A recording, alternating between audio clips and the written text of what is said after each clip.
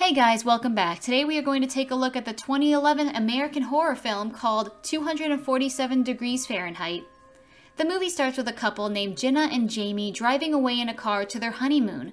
They are discussing their marriage ceremony. We then see a post accident scene of them. Their car has been wrecked and Jenna is still alive. There's blood everywhere and she screams for her husband. We skip to three years ahead. Jenna is on a beach taking pictures of the seashore with her friend named Renee.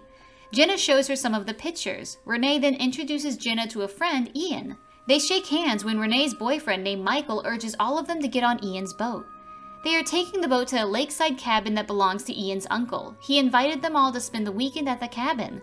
Michael asks permission to drive the boat. Ian then hands him the steering wheel. Michael, being irresponsible, drives the boat recklessly to annoy his girlfriend.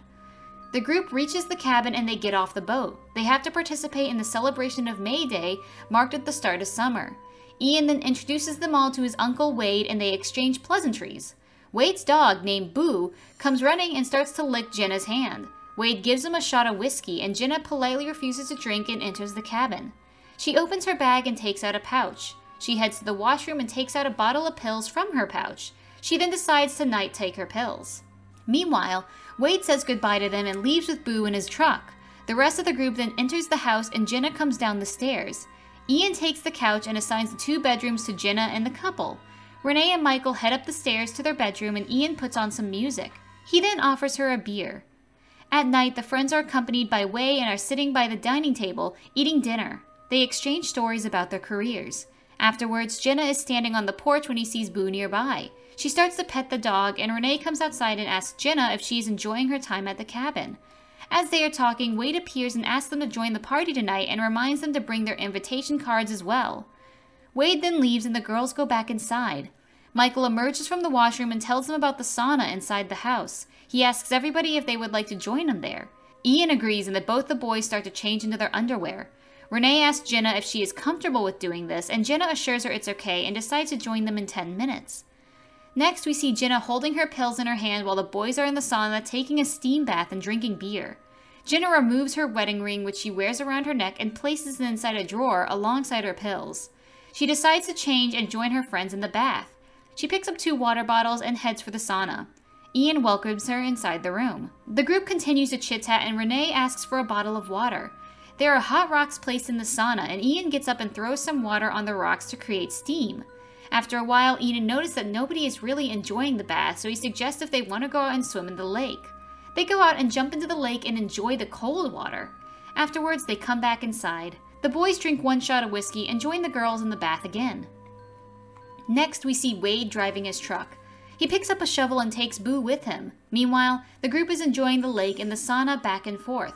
Ian picks up some of the herbal fragrances to add the smell to the steam. Outside the sauna, Michael is drunk and tries to kiss Renee while she just wants to enjoy the steam bath. They have a little argument and Renee leaves him outside. Michael then goes to the washroom. While inside the sauna, Renee is tired of Michael's weird behavior and starts to argue with Ian when he takes Michael's side. As they are having dispute, there's a loud banging noise outside and they all think it's Michael just being drunk. Ian gets up to bring Michael inside and opens the door a bit, but Renee stops him. He closes the door behind him. Renee then wants to leave the house and goes to the party. She tries to open the door, but it wouldn't budge. Ian puts all his effort into opening the door, but it doesn't work. Jenna starts to lose her mind, and Renee asks if she's taken her pill today. Then Ian starts banging his shoulder repeatedly into the door in hopes of breaking it down, but it's all in vain. Renee starts to knock on the door and thinks that Michael is playing a sick joke on them by trapping them inside. All of them start losing their temper and blaming Michael. Jenna is having a panic attack and looks around the room. Ian suggests that they should all remain calm and just find a way out. He thinks that Michael is probably stoned, and Wade isn't going to come back to the house anytime soon, as he's going to be enjoying the party. Ian gets up and sees through the door's window and tells them that something is blocking the door. We then see Wade meeting up with a man and walking up a hill. Meanwhile, Ian and the girls are debating about what to do while being stuck inside. Ian warns them about the heat stroke and to drink as much water as they can to avoid dehydration as well. Jenna gets up to see the thermostat placed on the wall. Renee suggests that they should break the thermostat to stop the room from heating up. Ian educates her that the only thing stopping the room from getting too hot is the thermostat because it maintains a steady temperature and turns off the heater when needed. Also, they shouldn't mess with the heater as it is gas and the last thing Ian wants to do is to be inhaling gas. Renee takes a ladle and tries to break the window, but it's too strong. Ian then picks up a towel and a ladle to break out one of the rocks from the heater. He then uses the water to pour in a bucket and cool off the rock. He grabs the rock in his hand and starts to break the window. After a lot of effort, he finally manages to shatter the glass. Cool air starts to rush inside, and they all gasp for fresh air and shout out for Michael, but he is nowhere to be found. In the next scene, we see a part of the ladder is wedged in front of the door, blocking the exit. The group then discusses their next strategy to get out when Ian divulges that, as the cool air is coming inside, the heater will never turn itself off. He then tries to tie the rock to the towel and hangs it outside the hole. He attempts to move the ladder by getting the rock to tangle with it, but he fails. He sits down after getting tired and uses the towel to wrap his wounded hand. Renee insists on breaking the thermostat and hopes that it will shut down the heater, but Jenna stops her and believes that Ian is right about the thermostat. Ian looks around the room and his eyes are set upon the electrical lamps. He thinks that if he can short circuit the lamp, it could possibly turn off the heater as well. He grabs the ladle and jams the lamp socket with a towel. As soon as he jams it, there's a spark. The lights turn off and he burns his hand off. He falls to the ground and Jenna wraps his hand in a towel. The heater is still burning and now they are left in the dark. Next, we see a brief scene of Wade and the man unwrapping a box of fireworks. Meanwhile, at the cabin, all three of them are starting to feel dizzy and dehydrated. Jenna and Renee reminisce about their old college days when they got matching bracelets. After a moment, Ian hears the dog barking outside. They all start to shout, asking for help from him. The dog senses something is wrong. Wade and his friends put on their headlights and set up the fireworks. Michael appears and finds the dog barking outside the house, but because of the fireworks, he couldn't hear his cries for help coming down the sauna. The dog rocks back to his owner and doesn't stop barking. Wade is confused as to what happened to him, Boo gets on the truck and leads Wade back to the cabin. As they reach back, Wade meets Michael outside. He tells Wade that his friends have left him sleeping on the couch and have gone to the party. We see a flashback of Michael getting off the couch and the noise of Boo barking. He looks around but doesn't find anyone there.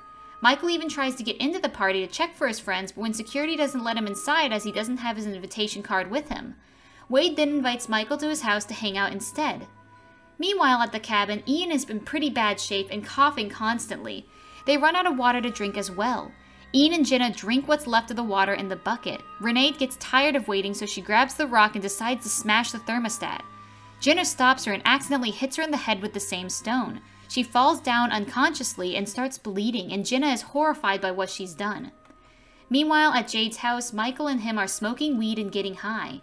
At the sauna, Jenna loses her mind over the accident and impulsively breaks the thermostat with the rock. The heater then starts to give off more heat than before. Michael smokes one last joint and decides to head back to the cabin. While at the cabin, Ian is laughing like a maniac and grabs the heater with both his hands. He burns off his skin but manages to get the heater off from the ground. Jenna yells for him to stop and the heater breaks off and the gas starts to leak. After a brief second, there's an explosion and the door opens wide with a bang. There's a loud ringing noise as Jenna gets out of the sauna and looks behind to find Ian's lifeless body all covered in blood. She gets to the refrigerator and drinks a bottle of cold water and pours it over her body. She then runs to her room and cries on the bed while Renee is calling for her name. Then we see Jenna back inside the sauna as Renee is continuously calling her. It's shown that Jenna is hallucinating and Ian is dead beside her. Renee is conscious again and the gas from the heater is making it difficult for them to breathe. Jenna then holds Renee from her back and lifts her to the window to get her some fresh air. Meanwhile, Michael returns back to the cabin. He calls for his friends, but he still finds nobody. He takes a bottle of beer from the refrigerator and drinks it. Inside the sauna, Jenna grabs the towel and hangs it from the ceiling. She then wraps the towel around Renee's arms to help her stand in front of the window hole. Michael looks around the house for his friends and starts to smoke weed again. Jenna holds the towel in her hand and removes the rocks from the heater and successfully manages to plug the gas valve with a broken wooden piece. Meanwhile, Michael is stoned on the sofa and we see a flashback of him leaving the sauna and accidentally placing the ladder in front of the door, which then ends up blocking the doorway. In the next scene, we see Wade returning to the sauna and finding out the tragedy that happened there. He calls the police and an ambulance. Michael is sitting on the floor crying and blaming himself. The movie ends with the girls on their way to the hospital in an ambulance.